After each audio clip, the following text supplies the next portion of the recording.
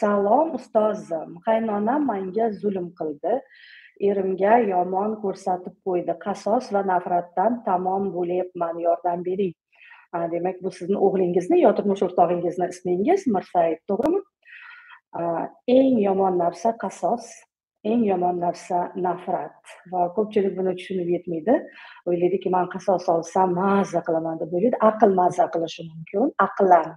Mazza qilish mumkin chunki ego qoniqadi ichki egoni qoniqtira olasiz.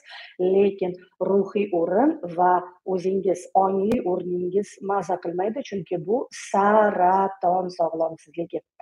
Turli xil saraton o'simtalar va bular barisi aynan mana shu qasos va nafratning ehm, natijasi hisoblanadi. Shuning uchun bu e, karma deb ataladi.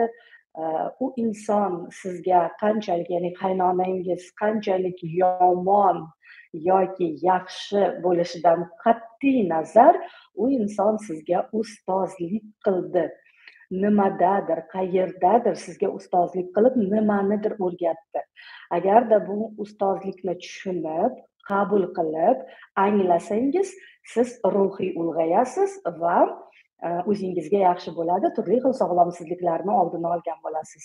Agarda yo'q men qasos olaman o'ch olaman harakat qilaman desangiz ha egoingizni qoniqtirasiz lekin mm, tanada turli xil sog'lomsizliklarni olib kelishingiz mumkin bo'ladi.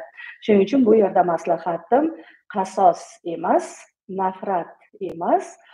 Ulg'ayish yo'lida harakat qilish va bu yerda men sizga bizning ilohiy ayol treningimizni maslahat berishim mumkin chunki ilohiy ayol treningimiz aynan sizni ruhiy ulg'ayishingizga yordam beradi qasos va nafrat alamlaridan qutulishingizga yordam beradi shuning uchun o'z ustingizdan ishlashingizni maslahat beraman va ruhiy ulg'ayishingizni maslahat beraman